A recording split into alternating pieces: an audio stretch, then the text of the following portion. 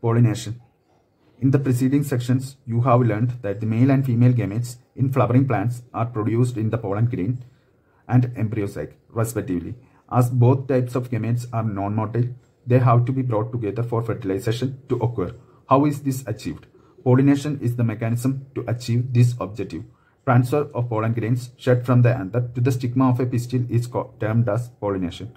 Flowering plants have evolved an amazing array of adaptations to achieve pollination. They make use of external agents to achieve pollination.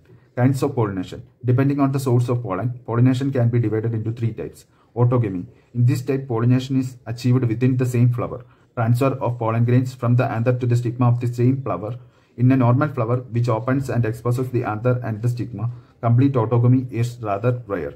Autogamy in such flowers requires synchrony in pollen release and stigma receptivity, and also the anthers and the stigma should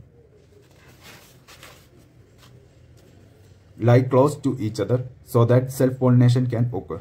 Some plants such as viola, common pansy, oxalis and commelina produce two types of flowers. Chasmogamous flowers which are similar to flowers of other species with exposed anthers and stigma and cleistogamous flowers which do not open at all. In such flowers, the anther and stigma lie close to each other. When anther dehisces and the flower buds, pollen grains come in contact with the stigma to effect pollination. Thus, cleistogamous flowers are invariably autogamous as there is no chance of cross pollen landing on the stigma. Cleistogamous flowers produce a shared seed set even in the absence of pollinators. Do you think that cleistogamy is advantageous or disadvantageous to the plant? Why? Geitonogamy. Transfer of a pollen grain from the anther to the stigma of another flower of the same plant. Although geitonogamy is functionally cross-pollination involving a pollinating agent, genetically it is similar to autogamy since the pollen grains come from the same plant. Xenogamy. Transfer of pollen grains from anther to the stigma of a different plant. This is the only type of pollination which during pollination brings genetically different types of pollen grains to the stigma. Self-pollinative flowers, cross-pollinated flowers and cleistogamous flowers, chasmogamous flowers. Agents of pollination. Plants use two abiotic wind and water and one biotic animal agents to achieve pollination. Majority of plants use biotic agents for pollination. Only a small proportion of plants use abiotic agents. Pollen grains coming in contact with the stigma is an enhanced factor in both wind and water pollination. To compensate for these uncertainties and associated loss of pollen grains, the flower produce enormous amount of pollen when compared to the number of ovules available for pollination.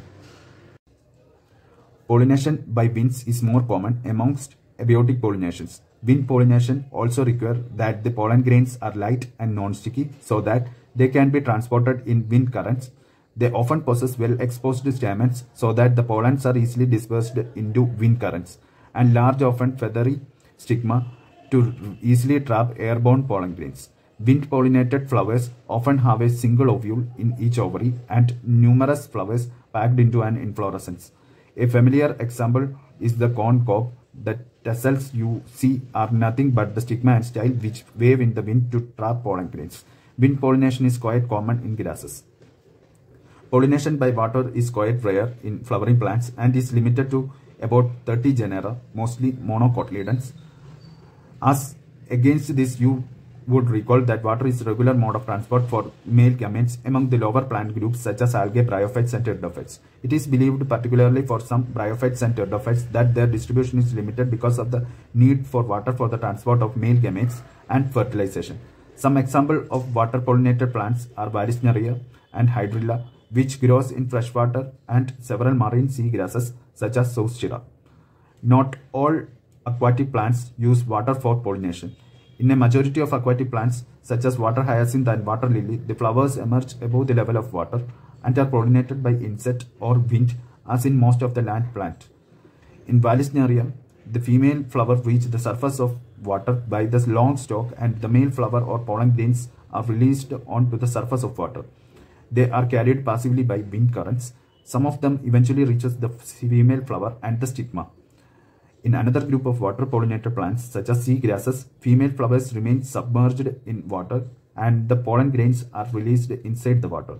Pollen grains in many such species are long ribbon-like and they are carried passively inside the water. Some of them reach the stigma and achieve pollination. In most of the water pollinated species, pollen grains are protected from wetting by a mucilaginous covering. Both wind and water pollinated flowers are not very colorful and do not produce nectar.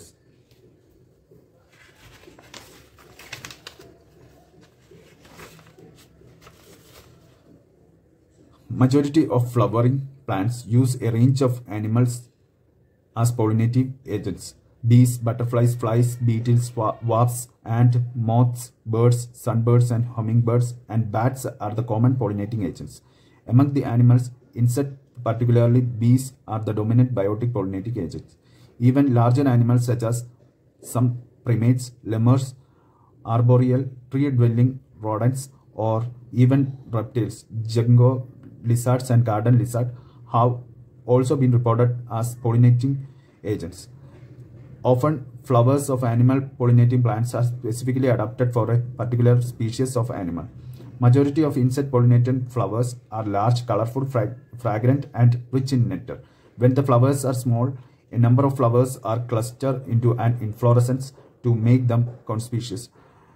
Animals are attracted to flowers by colors and or fragrance. The flower pollinated by flies and beetles secrete foul odors to attract these animals. To sustain animal visits, the flowers have to provide rewards to the animals. Nectar and pollen grains are the usual floral rewards. For harvesting the reward from the flower, the animal visitor comes in contact with the anthers and the stigma. The body of the animal gets a cotton, coating of pollen grains, which are generally sticky in animal pollinated flowers. When the animal carrying pollen on its body surface comes in contact with the stigma, it brings about pollination. Pollination by water in Vallisneria. Insect pollination.